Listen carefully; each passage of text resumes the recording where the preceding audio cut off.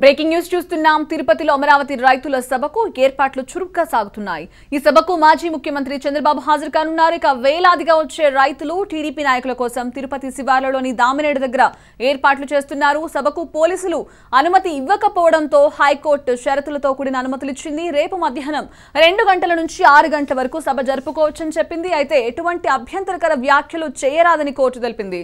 సభకు హైకోర్టు అనుమతిచ్చిన నేపథ్యంలో తిరుపతి శివార్లలో అమరావతి రైతుల సభకు చకచక ఏర్పాట్లు జరుగుతున్నాయి. రైట్ దేశానికి సంబంధించి మరింత సమాచారం మా ప్రతినిధి తులసి ప్రసాద్ నాడు తెలుసుకుందాం. తులసి ప్రసాద్ చెప్పండి.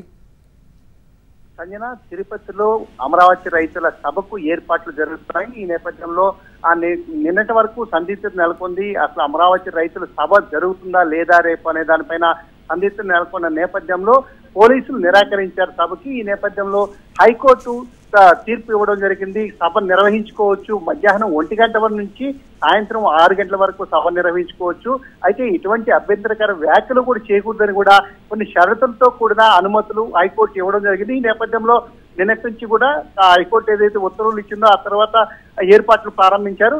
ఇక్కడ టీడీపీ నాయకులు అదేవిధంగా రైతులంతా కూడా కలిసి ఈ సభ ఈ దామినేడు తిరుపతికి శివార్లలోని దామినేడు దగ్గర ఏర్పాట్లు చేస్తున్నారు. అంటే రేపు జరగనున్న సభకు వేలాదిగా ప్రజలు అదే రైతులు అదేవిధంగా టీడీపీ నాయకులు కార్యకర్తలు రానున్న నేపథ్యంలో దానికి అనుగుణంగా ఏర్పాట్లు చేస్తున్నారు. అదేవిధంగా ఇక్కడున్న టీడీపీ నాయకులంతా కూడా లోక స్థానిక నాయకులు ఇటు బయట నుంచి వచ్చే నాయకులు నాయకులంతా కూడా ఈ వాళ్ళకంతా అకామిడేట్ చేయడం అదేవిధంగా విఐపి గ్యాలరీలు ఏర్పాటు చేయడం అదేవిధంగా విడివిడిగా అందరినీ ఎలా అకామిడేట్ చేయాలనే దానిపైన కూడా ఇప్పటికే ఒక క్లారిటీ కంక్లూజన్ రావడం జరిగింది.